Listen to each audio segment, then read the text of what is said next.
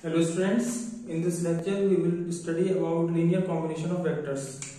लेकिन उससे पहले लास्ट लेक्चर में हमने ये पढ़ा था एग्जाम्पल्स पढ़े थे कि v डायरेक्ट सम होगा अपने दो सब स्पेसेस का तो उसमें जो सेकंड एग्ज़ाम्पल हमने चूज़ किया था उसमें एक सब स्पेस गलत ले लिया था तो वेक्टर स्पेस मैंने चूज़ किया था वहाँ पे M N cross N F था वेक्टर स्पेस W1 जो सब स्पेस कंसीडर किया था W1 सब स्पेस कंसीडर किया था it contains matrices of order n such that aij is equals to zero if i is greater than j. First subspace जो था W1 वो सही चूज़ किया था। ये सब स्पेस जो है, ये अपर ट्रायंगुलर मैट्रिसेस का सब स्पेस है। Subspace of upper triangular matrices but जो सेकंड सब स्पेस चूज़ किया था हमने लास्ट लेक्चर में एग्ज़ाम्पल में W2 टू इक्वल्स टू उसमें A I J N N such that A I J equals to zero if I is less than J ये choose किया था। ये अगर हम चूज़ करेंगे तो ये जो कलेक्शन है, ये ऐसे मैट्रिसेस है जिसमें ए आई जे ज़ीरो होगा अगर I less than J I less than J होने पर एआईजे की वैल्यू ज़ीरो है इट मींस वो लोअर ट्रायंगुलर मैट्रिसेस का कलेक्शन है। ये लोअर ट्रायंगुलर मैट्रिसेस का कलेक्शन है। ये लोअर ट्रायंगुलर मैट्रिसेस का कलेक्शन है और यही सब स्पेस हमने वहाँ पे चूज़ किया था। ये एक सब स्पेस होता है अपर ट्रायंगुलर मैट्रिसेस का कलेक्शन ये भी एक सब स्पेस होता है। ये बात दोनों करेक्ट हैं। लेकिन अगर हम ये कहें कि v डायरेक्ट सम होगा W1 इस केस में v डायरेक्ट सम होगा W1 और W2 का तो ये पॉसिबल नहीं होगा। V जो है W1 और W2 का डायरेक्ट सम नहीं होगा जब अपर ट्रायंगुलर मैट्रिसेस और लोअर ट्रायंगुलर मैट्रिसेस का कलेक्शन हम चूज़ कर रहे हैं। दोनों सब स्पेसेस ये कंसीडर कर रहे हैं। वो गलती से ये सब स्पेस गलत चूज़ कर लिया था, जिसकी वजह से v डायरेक्ट सम हमने शो किया था। तो क्या कंडीशन होगी वो मैं आगे बताऊँगा कि ये इसमें क्या चेंजेस करेंगे कि v डायरेक्ट सम होगा W1 और W2 का। तो इस केस में जब ये अपर ट्रायंगुलर मैट्रिसेस और लोअर ट्रायंगुलर मैट्रिसेस हैं तो v डायरेक्ट सम नहीं होगा W1 और W2 का क्यों नहीं होगा? V का कोई भी वेक्टर अगर मैं लूँ, कोई भी मैट्रिक्स में लूँगा a11 a12 ऐसे ऑब्ज़र्व कर सकते हैं। A1n a21 a22 a2n up to an1 an2 up to a n n इसको अगर मैं दो वेक्टर्स के सम की फॉर्म में लिखूं तो यहाँ पे फ़र्स्ट वेक्टर जो है, वो बिलोंग करना चाहिए किसमें? फ़र्स्ट वेक्टर होना चाहिए W1 में और सेकंड W2 में। फ़र्स्ट मैट्रिक्स W1 में होना चाहिए सेकंड मैट्रिक्स W2 में होनी चाहिए। तो फ़र्स्ट मैट्रिक्स W1 में क्या चाहिए हमें? W1 में ai से ज़ीरो हो जाए, जब i ग्रेटर देन j है। तो इस केस में हम मैट्रिक्स ये ले सकते हैं। A11 a12 a1n इसी तरीके से ये a22 ann और इधर के सारे एलिमेंट जो आएँगे वो कैसे आएँगे? ज़ीरो आएँगे। इसी तरीके से जो ये वाले मैट्रिक्स चाहिए हमें, वो क्या चाहिए? A i j zero i less than j i less than j पे ज़ीरो तो आई लेस देन जे पे ज़ीरो होने का मतलब है कि सारे जो अपर अपर वाले एलिमेंट्स हैं अपर डायगोनल के एलिमेंट्स हैं डायगोनल से अबव के एलिमेंट्स हैं, वो सारे एलिमेंट्स क्या होने चाहिए? ज़ीरो होने चाहिए। तो इस केस में ये डायगोनल है, इससे ऊपर के सारे एलिमेंट जो हैं वो ज़ीरो होंगे। ठीक है? और जो नीचे के एलिमेंट्स हैं, ये एज इट इज़ हमें मिल जाएँगे। A two one a n one a n two a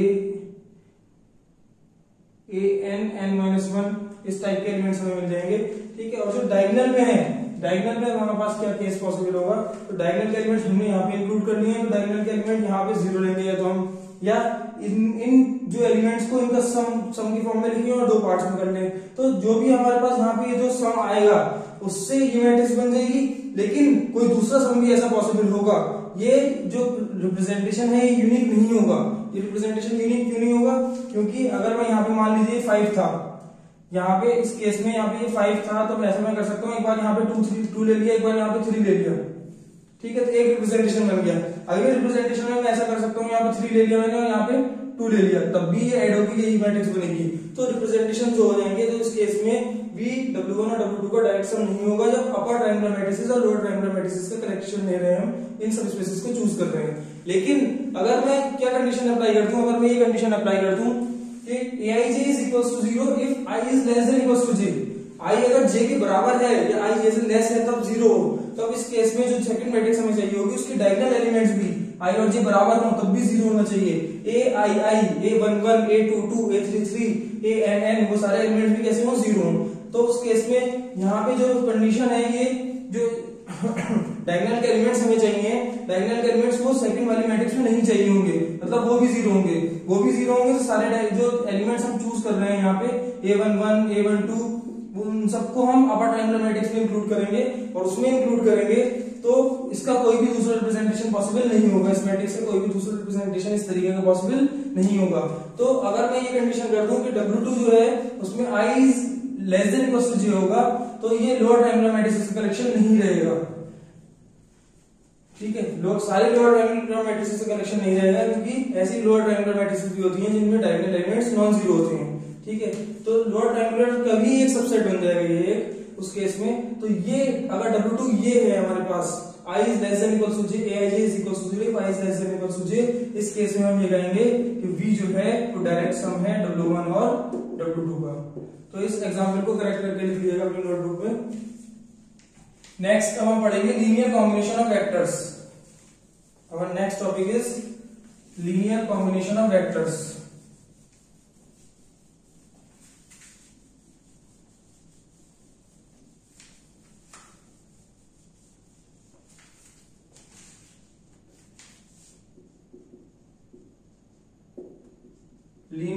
combination of vectors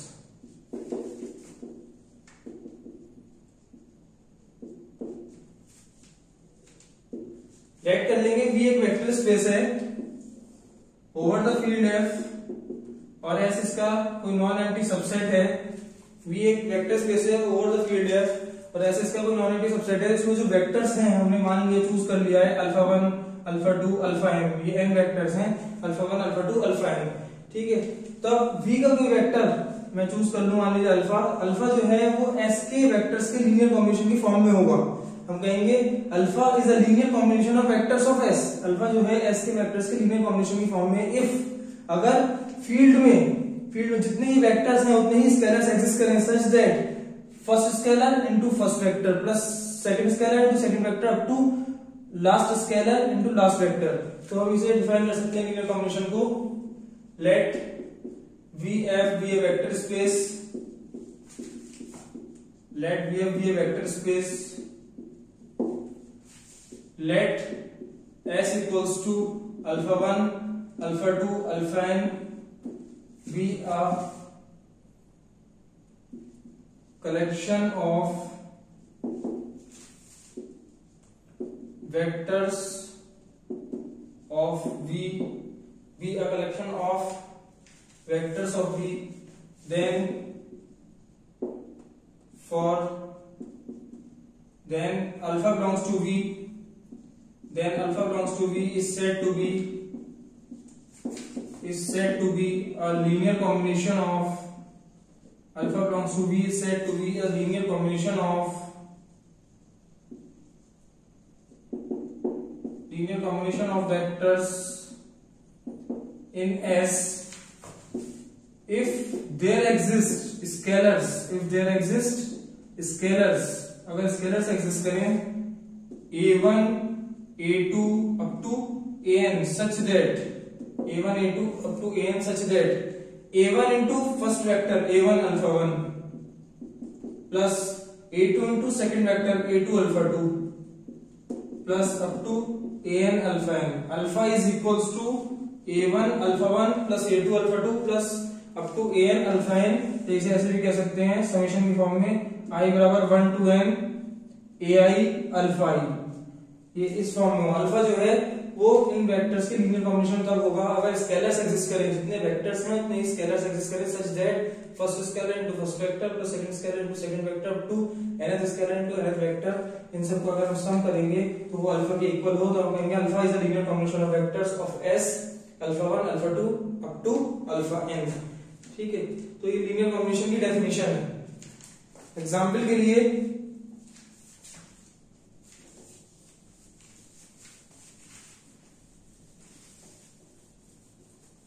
vector space ले लेते हैं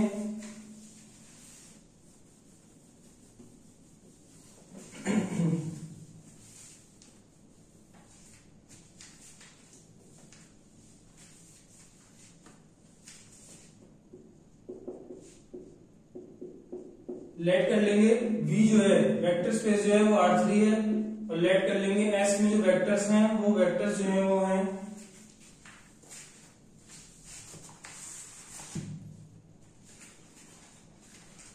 one three zero two four minus one then s में ये दोनों वेक्टर्स हैं।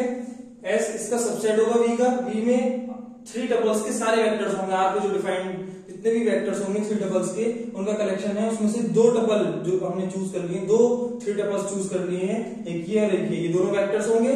ये आर थ्री के एलिमेंट्स होंगे तो इनका एक सबसेट फॉर्म कर लिया अब इस सबसेट इन दोनों वेक्टर्स के लीनियर कॉम्बिनेशन की फॉर्म में एक वेक्टर को हम चूज़ करेंगे देन एक वेक्टर हम इसमें ले सकते हैं आर थ्री में आर थ्री में हम एक वेक्टर ले लेते हैं minus two comma zero comma three belongs to r cube या आर क्यूब का एक वेक्टर होगा such that minus two zero three equals to a one three zero plus b two four minus one ये minus two zero three जो है are three का element ये linear combination होगा इन वेक्टर्स का एस के वेक्टर्स का। अगर स्केलर्स एग्जिस्ट करें ए और b such that if there exist scalars if there exist scalars a comma b और आर थ्री क्योंकि वेक्टर स्पेस फॉर्म करता है over the field r a comma b r में एग्जिस्ट करें सेटिस्फाइंग जो इस कंडीशन को सेटिस्फाई कर रहा हूँ। हम कहेंगे comma zero minus two zero three belongs to r cube is a linear combination of vectors of s if such that if there exists scalars a comma b belongs to r satisfying this condition is satisfied. अगर ये condition satisfy हो रही है तो zero three जो है वो linear combination है एस के वेक्टर्स का। तो ज़ीरो थ्री को एस के वेक्टर्स की लीनियर कॉम्बिनेशन की फॉर्म में हमने पुट कर दिया। ठीक है स्केलर्स चूज़ कर लिए ए कॉमा बी अगर स्केलर्स की वैल्यू हम फाइंड कर पा रहे हैं यहाँ से ठीक है, एक इन स्केलर्स की वैल्यू को फाइंड कर पा रहे हैं, जो इस कंडीशन को सेटिस्फाई कर रही है। तो हम कहेंगे minus two zero three is linear combination of vectors of s minus two zero three जो है, वो लीनियर कॉम्बिनेशन है एस के वेक्टर्स का। तो इन इक्वेशन को सॉल्व करेंगे अगर माइनस टू ज़ीरो थ्री इसे ऐसे लिख सकते हैं ए प्लस टू बी ये हो जाएगा three a plus four b और ये हो जाएगा माइनस का बी ठीक है equating the coordinates in three tuples we get in three tuples में हम कोऑर्डिनेट्स को इक्वेट करेंगे मतलब फ़र्स्ट कोऑर्डिनेट को फ़र्स्ट के साथ इक्वेट करेंगे सेकंड को सेकंड के साथ और थर्ड को थर्ड के साथ तो हमें क्या मिलेंगी? तीन इक्वेशन मिलेंगी a plus two b minus two मिलेगा three a plus four b जो है वो ज़ीरो मिलेगा और माइनस बी जो है वो थ्री मिलेगा तो थर्ड वाली इक्वेशन से बी जो आएगा वो कितना आ जाएगा? माइनस थ्री बी बराबर माइनस थ्री हम सेकंड वाली में अगर पुट करेंगे तो थ्री ए माइनस का four into three equals to zero this implies a equals to four यहाँ से ए फोर मिल जाएगा। A four b minus three क्या इस थर्ड इक्वेशन को सेटिस्फाई कर रहे हैं a four b minus three हम यहाँ पे ये देखेंगे कि ए अगर फोर पुट करेंगे और बी की जगह माइनस थ्री पुट करेंगे तो माइनस टू मिलेगा। ठीक है? Four into four plus two into minus three is equals to minus two ये सेटिस्फाई हो रही है इक्वेशन तो ए बराबर फोर बी कॉम बी बराबर माइनस थ्री सेटिस्फाई कर रहे हैं इस कंडीशन को। It means minus two zero three is the linear combination of this vectors ठीक है, उसे लीनियर कॉम्बिनेशन फॉर्म में अगर लिखना है तो ये रिप्रेजेंटेशन है। लीनियर कॉम्बिनेशन की फॉर्म में रिप्रेजेंटेशन जो है, ये है। हम यहाँ लिख सकते हैं। दस zero three is a linear combination of minus 203 is a linear combination of vectors of s. Vectors of s. और हम यहाँ कह सकते हैं minus two minus two zero three is equals to a की वैल्यू हम फोर पुट करेंगे अगर, और बी की वैल्यू माइनस थ्री लेंगे तो ये इक्वालिटी मेंटेन हो जाएगी। तो minus two zero three is equals to four one one comma three comma zero plus minus three into two comma four comma minus one ये फ़र्स्ट एग्ज़ाम्पल था। Second example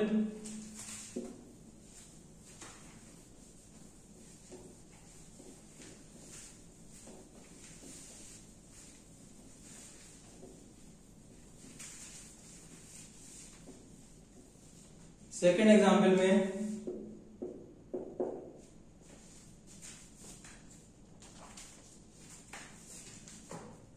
two x cube minus two x square plus twelve x minus six is belongs to ये जो है p three r p three r का एक vector है। P three r three degree three degree की जो polynomials हैं R पे डिफाइंड उनका कलेक्शन है। P three r is a linear combination of ये लीनियर कॉम्बिनेशन होगा। Is a linear combination of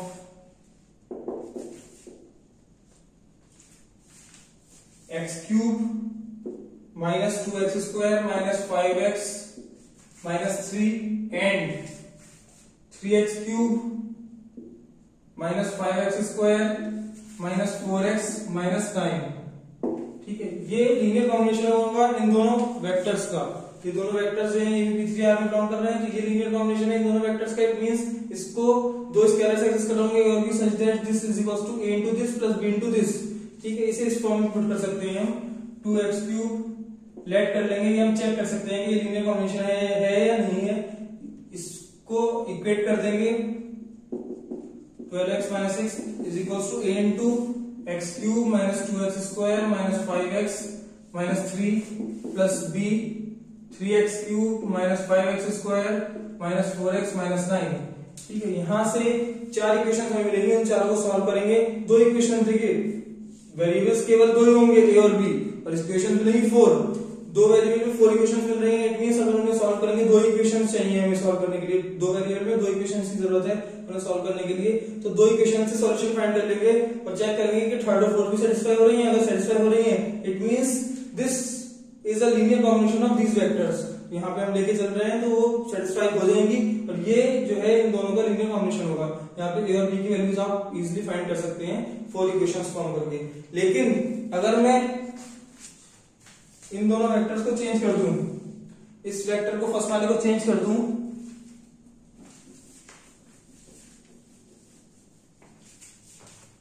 but first vector अगर मैं ये ले लू three x cube minus two x square plus seven x minus eight is not a linear combination ये linear combination form नहीं करेगा। Linear combination is not a linear combination of is not a linear combination of x cube minus 2x square minus 5x minus 3 and 3x cube minus five x square minus four x minus nine ये जो vector है, ये linear combination नहीं होगा इन दोनों vectors का। ये लीनियर कॉम्बिनेशन नहीं होगा, इसको हम सॉल्व करके देखते हैं। इसको इन दोनों के लीनियर कॉम्बिनेशन के फॉर्म में चूज़ कर लेते हैं पहले लेट कर लेंगे। ए कॉमा बी दो रियल नंबर्स हैं। आर में बिलोंग कर रहे हैं सच दैट जो ये इसको प्रूव करना है कि ये लीनियर कॉम्बिनेशन नहीं है इन दोनों का तो इसको इक्वेट करेंगे a into this plus b into this तो ये फ़र्स्ट वाली इक्वेशन है three x cube minus two x square plus seven x minus eight is equal to a into first is x cube minus two x square minus five x minus three plus second is b into three x cube minus five x square minus four x minus nine ठीक है? जब equate करेंगे तो चार equations हमारे पास मिलेंगी। चार equations क्या मिलेंगी? A equating the like powers of x x की लाइक पावर्स को इक्वेट करेंगे तो a plus three b equals to three first मिलेगी a plus three b equals to three second मिलेगी minus two a minus five b minus two a minus five b equals to minus two next third मिलेगी हमें minus five a, minus four b, minus five a, minus four b equals to third is seven and the last one is minus three a minus nine b minus three a minus nine b equals to minus eight ठीक है first और second को अगर हम solve करेंगे from first and second इन दोनों equations का सॉल्यूशन फाइंड करेंगे। फ़र्स्ट एंड सेकंड क्या इंप्लाई करेंगी? टू की अगर से मल्टीप्लाई करता हूँ और ऐड करूँ दोनों इक्वेशंस को तो ये हो जाएगा two a plus six b equals to six equation is minus two a minus five b equals to minus two तो इन्हें सॉल्व करेंगे तो यहाँ से b इक्वल्स टू फोर मिल गया। B इक्वल्स टू फोर इसमें पुट करेंगे फ़र्स्ट वाली इक्वेशन में फोर थ्री ट्वेल्व तो a equals to three minus a मिल जाएगा हमें थ्री माइनस ट्वेल्व या a equals to minus nine a minus nine b four a minus nine b four को अगर थर्ड में सेटिस्फाई कराएँगे तो a minus nine nine five से forty five left hand side जो हो जाएगी, वो क्या हो जाएगी? Forty five four into four sixteen forty five minus sixteen which is equals to 29 and not equals to ये 29 होगा लेकिन 7 के इक्वल नहीं होगा। तो ए और बी की वैल्यूज़ जो मिल रही हैं, वो थर्ड इक्वेशन और फोर्थ इक्वेशन को सेटिस्फाई नहीं कर रही है। It means it has no solution इसका सॉल्यूशन नहीं एग्जिस्ट करता है। इसका सॉल्यूशन नहीं है तो मतलब ये वेक्टर इन दोनों वेक्टर्स के लीनियर कॉम्बिनेशन की फॉर्म में एग्जिस्ट नहीं कर रहा है। ये वेक्टर इन दोनों का लीनियर कॉम्बिनेशन नहीं है, लेकिन ये वेक्टर जो है, वो इन दोनों का लीनियर कॉम्बिनेशन है। ठीक है थैंक यू